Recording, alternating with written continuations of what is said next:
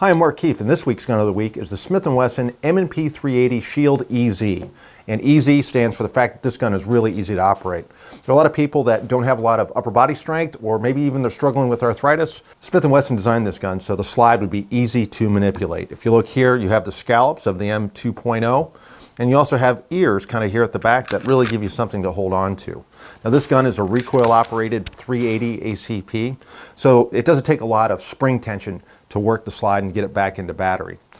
When you take the slide off, you can see what's going on on the inside. Now, of course, this gun does have a grip safety right here.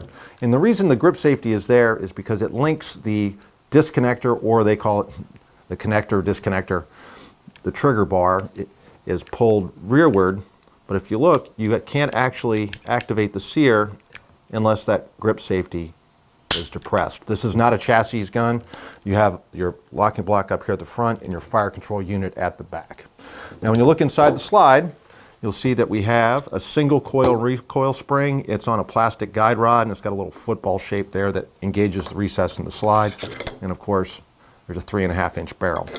Now another thing about this gun is that the magazine looks a lot more like a 22 long rifle magazine and it actually has a tab here that really makes it easy to load. This is a single column magazine. It only holds eight rounds, detachable box obviously, but it's very, very easy to load.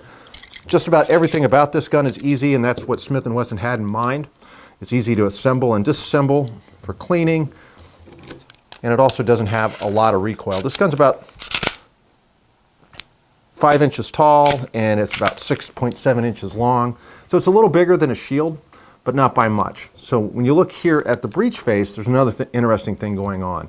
You have your loaded chamber indicator obviously right here, but also the entire breech face is an insert that they dovetail and then pin into place. Very, very clever. Now this gun starts off with a frame that's based on the Smith & Wesson Compact 22. It's a polymer frame obviously that's made by Smith & Wesson right here in the United States. Another thing about this gun that's kind of interesting is when you look inside the slide, you'll see there's a screw that holds the rear sight in. Now this is uh, drift adjustable for windage, uh, but the front sight, not adjustable. You can replace it, but it's not adjustable.